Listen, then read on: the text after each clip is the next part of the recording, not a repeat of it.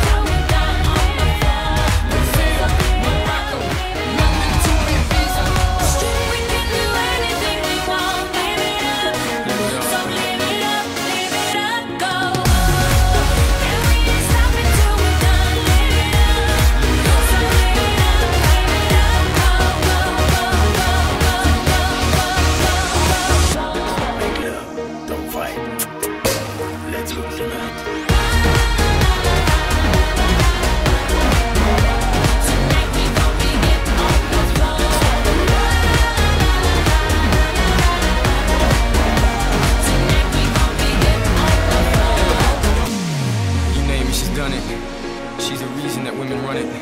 Bet this on a Grammy. Maybe now you understand me.